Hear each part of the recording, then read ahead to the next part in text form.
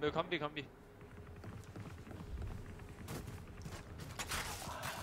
I think a bug bit me right behind my fucking ear, bro.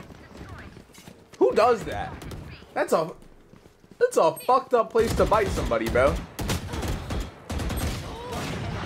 Probably not as bad as getting your ass cheek bitten. He was aiming. Cause like when you sit on the fucking toilet and you have a you have a bug bite there, that shit hurts like a motherfucker. But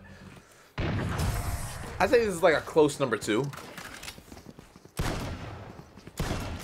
Your team is just better. I don't know what to tell you, man. Uh, I mean,